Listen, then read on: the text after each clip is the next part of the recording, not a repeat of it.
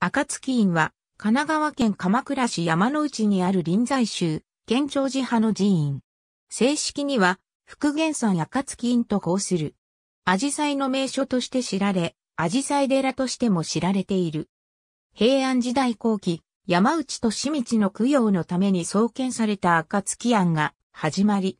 本尊は、聖観音、会期は、上杉則方、海山は、密室主言である。北条時頼の墓所が敷地内にある。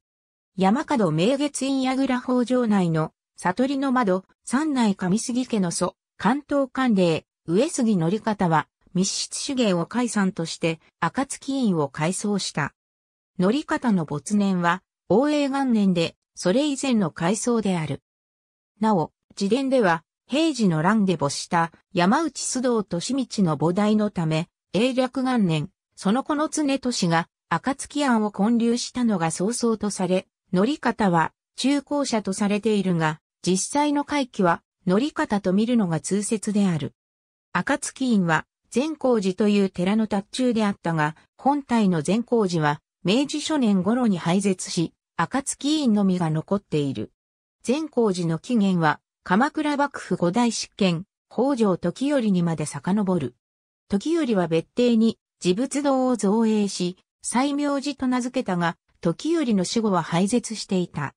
時頼の息子の北条時宗は、蘭慶道隆を解散として、これを再興し、善光寺と改名した。現在は、紫陽花寺として有名で、花のシーズンには大変な混雑を見せる。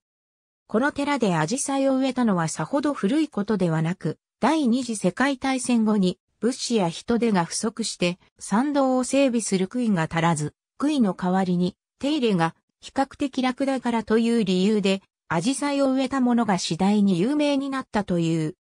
アジサイの他にも一年中花が絶えず、紅葉でも知られる。他に冬は老梅、春は梅と桜が咲く。こうした美しい花を堪能できるほか、枯山水庭園や丸窓、暁院櫓も楽しめる。特に本堂に設けられた悟りの窓と呼ばれる北条内の丸窓から見る景色は鎌倉を代表する絶景で四季の美しさを丸い額に入った絵画のように切り取って鑑賞することができる。境内には北条時頼廟、北条時頼墓、鎌倉獣医の一つである瓶類の糸も暁院櫓と称される岩を掘り抜いた墓室などがある。1984年2月9日、暁院境内として国の史跡に指定された。木造、上杉重房座像暁院鎌倉国宝館に帰宅。ありがとうございます。